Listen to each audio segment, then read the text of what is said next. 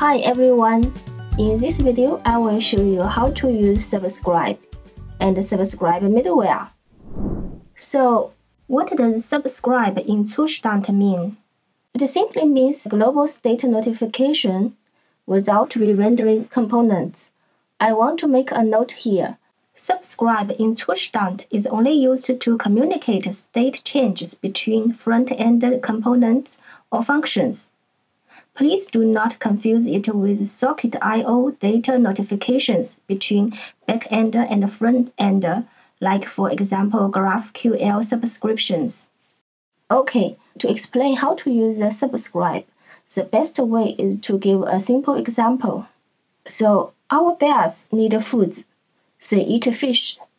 So, there is a food store containing the fish state. If the number of the fish declined to less than 5, then our bear box will turn into red. Otherwise, it will be green. This means we are only interested in whether the fish is more than 5 or not, nothing else. Let's make a food store at first.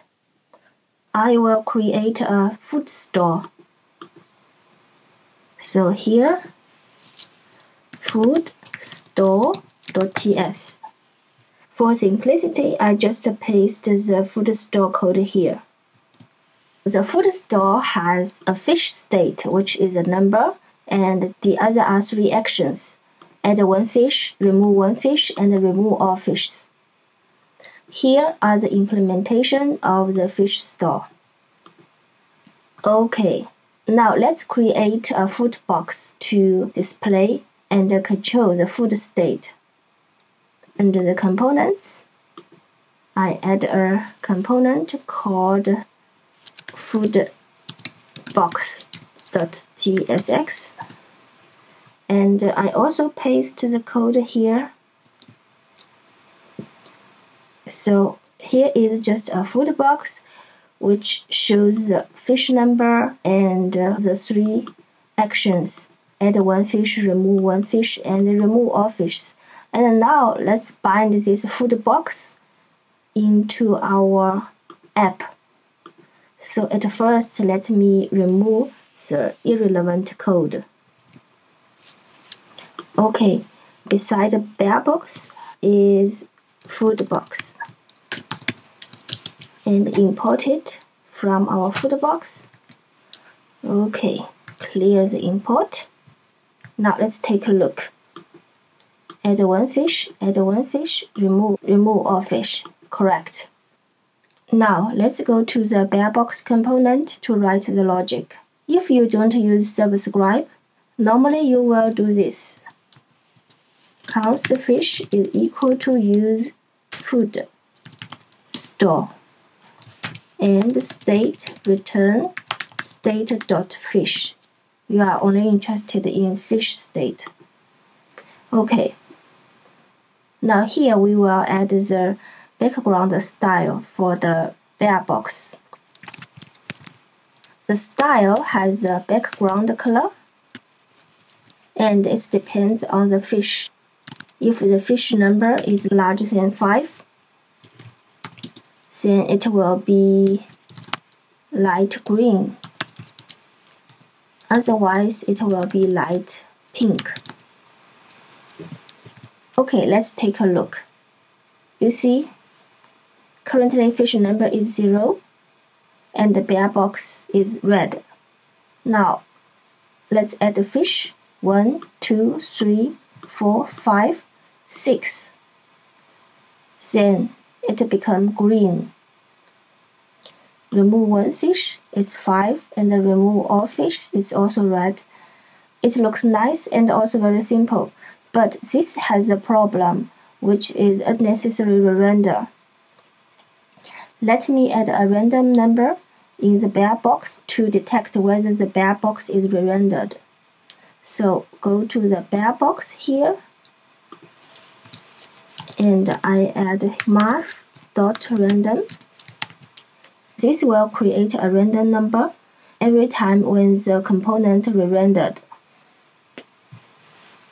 So let's take a look.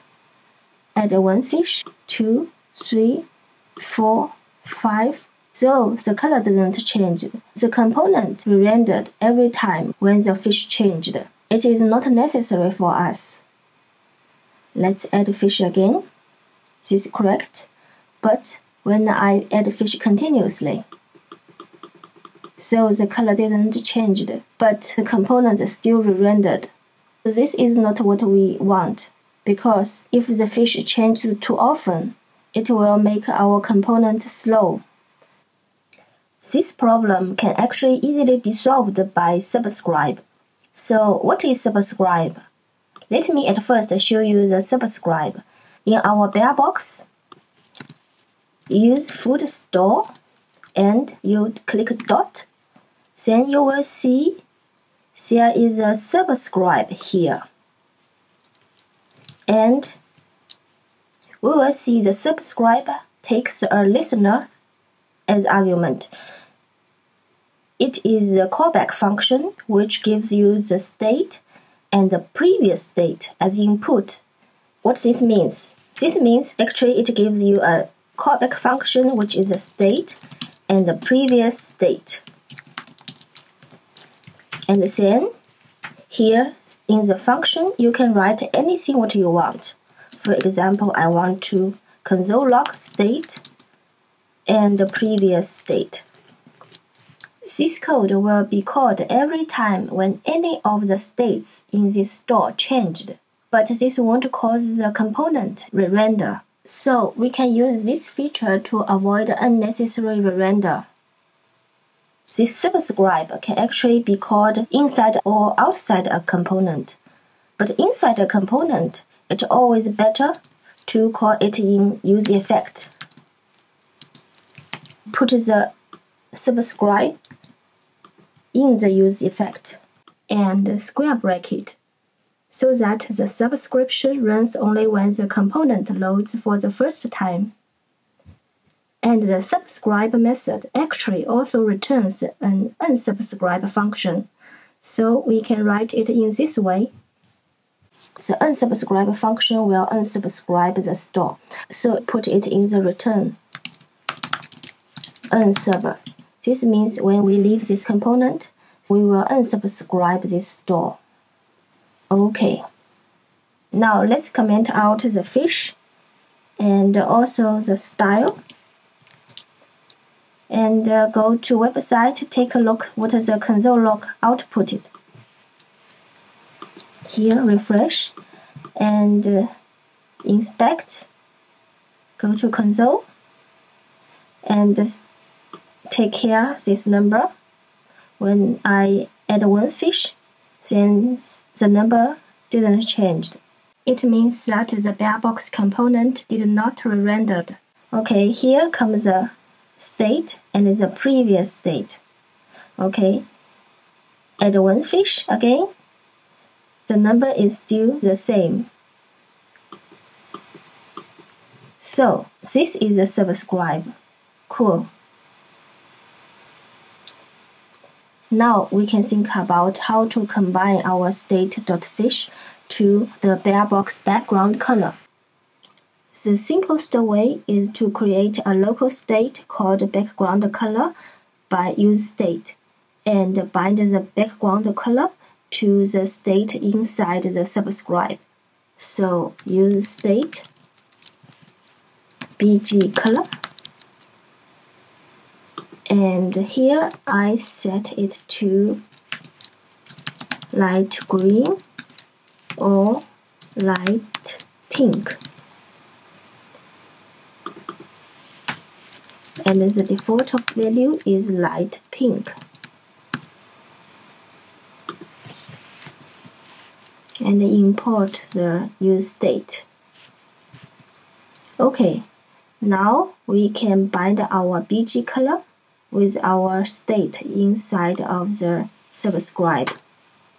So if previous state dot fish is smaller than 5 and the state dot fish is bigger than 5 then I will set BG color to light green.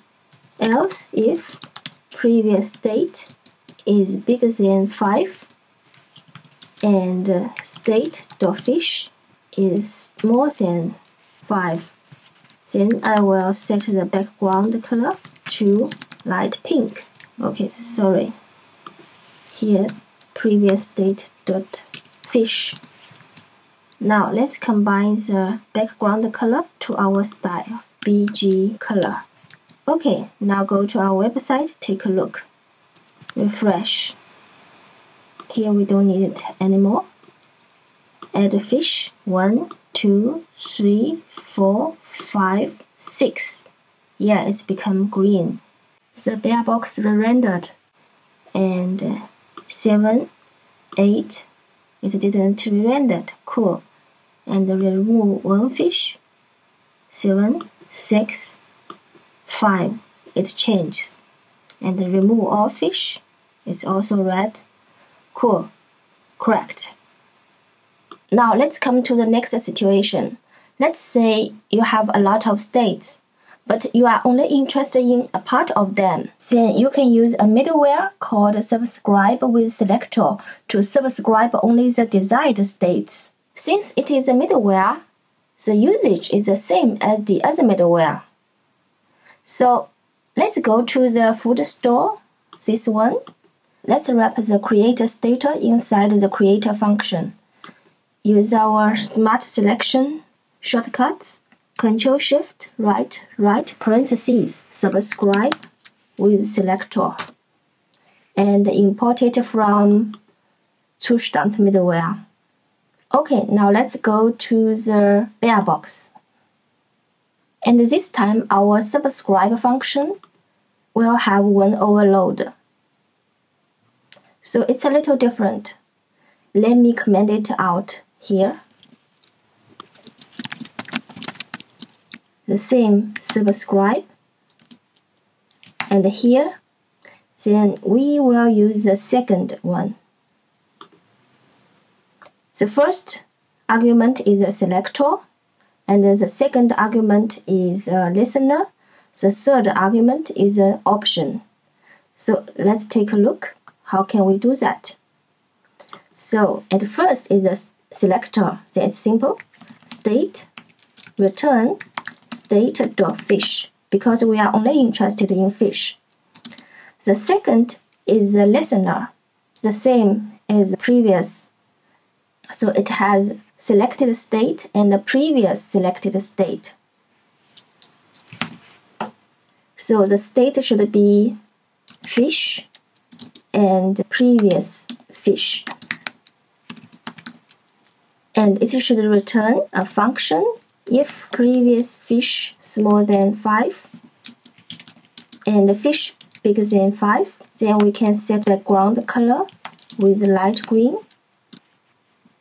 Else if previous fish bigger than 5 and uh, state the fish is smaller and equal than 5 then we set background color to light pink, the same as here. Okay, sorry, here should be fish. Okay, now there is a third argument, then it's an option. And I think there are two things important. One is equality function and the other is fire immediately. So the first is equality function. Usually we just use it with shallow. The shallow function we have already talked in previous videos. And uh, there is another property called fire immediately. I think let's put it to be true because the default value is false. The fire immediately usually means it fires at the first time, but we can take a look at this option later. Now let's check the result. Add fish 1, 2, 3, 4, 5, 6. Yes, it is re-rendered and uh, turned to green. 7, 8, 9 here is not rendered. and remove fish. Correct. Correct. Remove all fish. Correct. So the bear box re-rendered only when the fish number larger than 5 or smaller than 5. Okay. Now let's go back. Take a look at the fire immediately. So this means whether the subscribe function should be fired at the first time loaded. We will see the difference when we set it as false. And here, for example, I will put it as undefined. And here also undefined. So this means in the first time, no color should be setted. Now in the subscribe, we can initialize the background color. So here, when the component run first time, it usually means the fish is equal to previous fish. Then I can make a comparison. If fish smaller than 5, then I set background color to be light pink. Else, I set the background color to be green. Now let's go to website have a check. So refresh, but this didn't work. It is still white because we set here fire immediately as false. This means in the first time this code won't run. But if I set this code to true, go to here, you see the color become red. Then I can add a fish. It changes and uh, remove fish. It change back. So here we will see the fire immediately make difference. At last, I want to talk about the order of the middlewares. Let's go to our cat store.